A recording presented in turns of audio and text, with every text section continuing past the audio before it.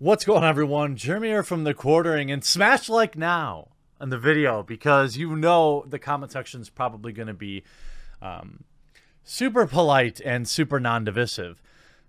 Let me start off this topic by saying one, it is my position, and I don't consider myself a religious man. I know I have many religious followers, and I support you in that. Uh, but just so you know where I am as a content creator and a man, uh, I live my life strongly when uh, led by a, a thirst, a, a, passion for personal liberty, um, for a man or a woman to be able to do as they please in as many scenarios as humanly possible.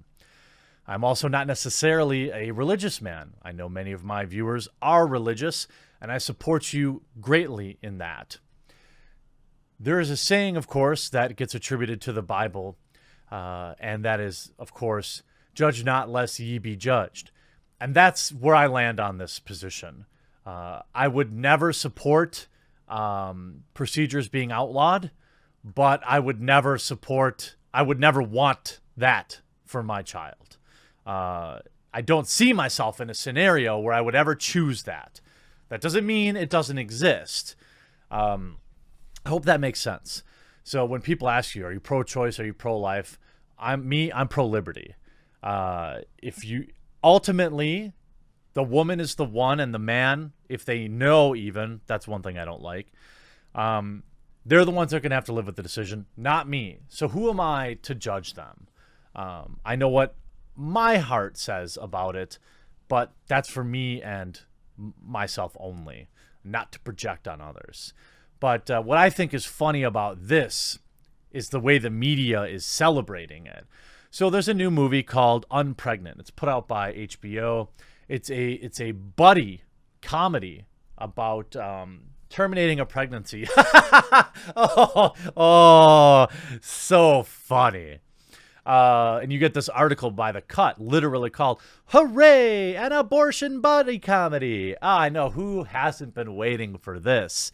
Um, the trailer, obviously, uh, I tried to react to it, but uh, HBO is pretty pretty tight on uh, allowing it. You're welcome to watch it, obviously, if you want to pause this video.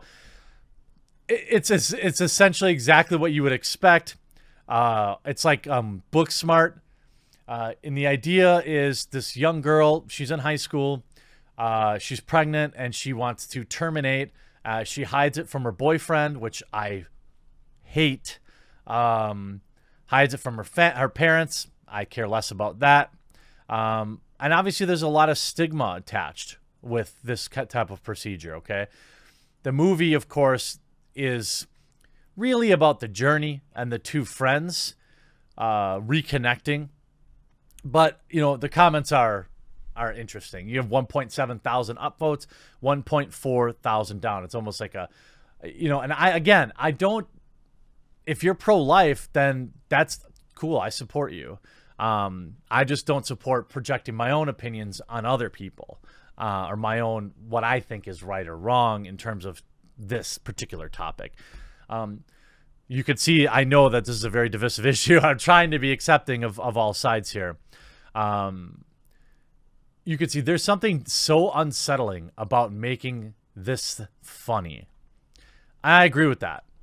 You know, uh, I I don't think that you know I can understand why people would see this as you know it's propaganda, right?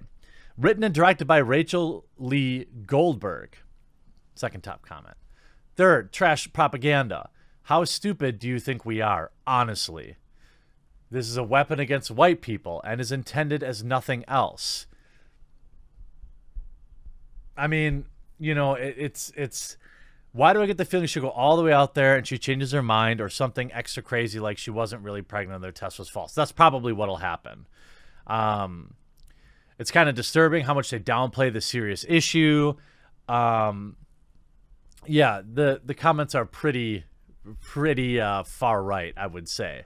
Um, you know, I'm just sure it's just a coincidence that both she and her boyfriend are white.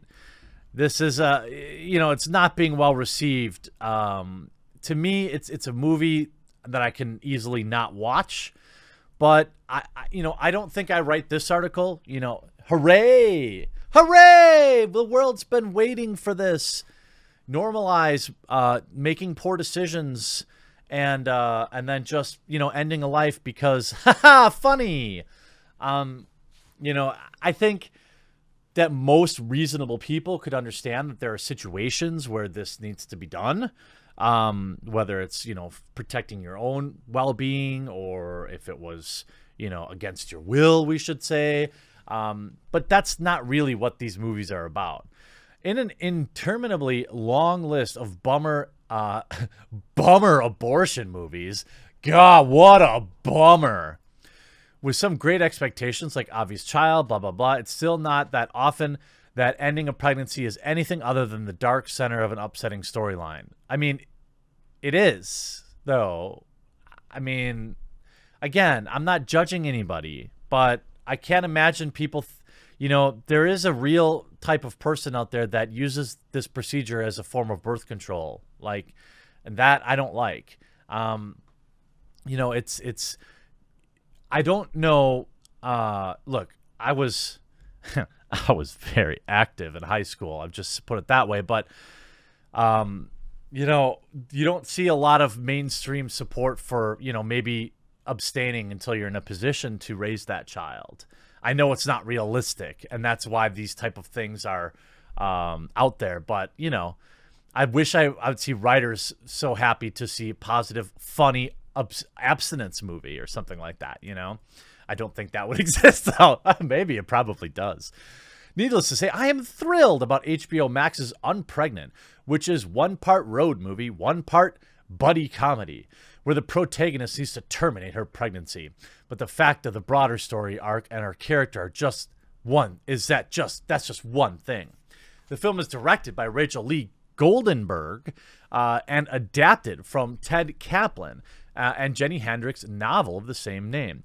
It stars Haley Lu Richardson as Veronica, a straight high school senior who is all set to pursue her Ivy League dreams until she gets pregnant. I mean, look, I mean, maybe if you look, I don't know why. I mean, okay, I don't consider myself very conservative, but on this issue, as I've gotten older, you know, I get a little more like kids need to just, you know, if you got a bright, you know, if you got this type of thing where you got an Ivy League education, maybe just keep it in your pants. I, I mean, I, I, know that's not realistic, but it's way easier to say, I suppose, than it is to be done. Um, so Veronica must turn to Bailey, uh, her grungy ex best friend, to drive her to the closest clinic, which is a thousand miles away. The reason she's driving a thousand miles is because she needs to find a clinic that will do it anonymously, is from what I understand uh, from the trailer. Of course, for many women, doing this is not only an issue of access and bureaucratic pain in the butt, but a complicated emotional and physical decision. But on screen, uh, terminations have not only been portrayed gloomily, but unrealistically. In a census of fictional TV and film that looked at representation of termination on screen in the last 100 years, Gretchen Sisson, a professor of University of California, San Francisco, found that they were in, there were inaccuracies and misrepresentation of the entire process. Well, I'm sure. I'm sure. Um, for example, an alarming 9% of the depictions showed women dying directly as a result of the procedure, yet these things are actually incredibly safe. The fatality rate in the U.S., most data was almost 0%. Well, in the U.S., sure. Um, you know, this is one of those things I could say, hey, if you don't like it, don't watch it. I feel weird. It feels slimy celebrating it and and thinking like, hey, we're gonna package it up as a humorous kind of thing because you know that's what we want to do. You can see bonding into comics. HBO released its first trailer for the uh, Termination road trip movie Based on the novel by the same name, not wanting to tell her boyfriend or her Catholic parents about her pregnancy, Veronica decides to have an abortion and scrambles to find someone who can help her receive the procedure. The two fast friends take a grand romping road trip trying to find a facility that will perform the procedure, all while sharing laughs and bonding. However, this is no laughing matter. In the trailer, it appears the sole reason Veronica wants to terminate is uh, is that the conception was a mistake. Veronica also appears to leap immediately to terminating uh, rather than explore other options such as adoption or delivering the baby and becoming a mother. The novel's author, Jenni Hendriks, who also wrote the screenplay for the film, discusses the book in an interview with Refinery 29, where she was asked if she intended to make a statement about reproductive rights. And she said, heck yes. So the idea that this is just a movie is incorrect. The author themselves want it to be.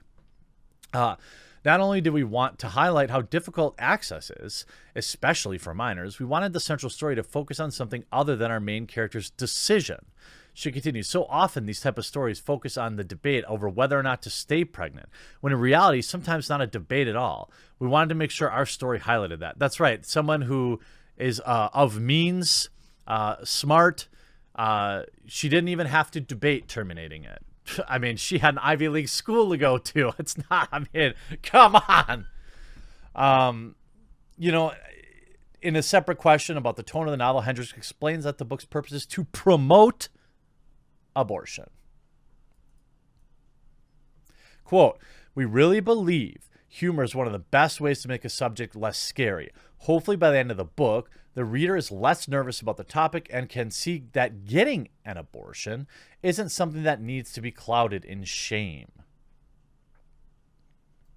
Well, look, again, it's my opinion that obviously this movie should be able to exist.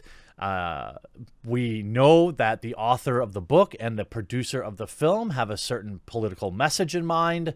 Um, I will never be pro terminating any life. Um, but it's also not my position to say what somebody else should or shouldn't do with their life, as they are the ones that must live with it. I'm not sure I would celebrate it and talk about how amazing it is, um, but you know, that's the thing. Uh, you know, considering the rates, I'm, I don't want to go down the list. There are some this is a tough topic because it gets pretty serious pretty quick, um, and for good reason. But for me, uh, obviously, it's not a film for me. Uh, it's not a film for a lot of people, as the like to dislike ratio would say. Um, but you never know what someone's personal situation is, and ultimately, they're the ones that are going to have to live with it. I don't know if I would write articles saying "Hooray!" Either way, journals are the worst. I think we can all hopefully agree on that. I hope you enjoyed this video. We'll talk to you again real soon.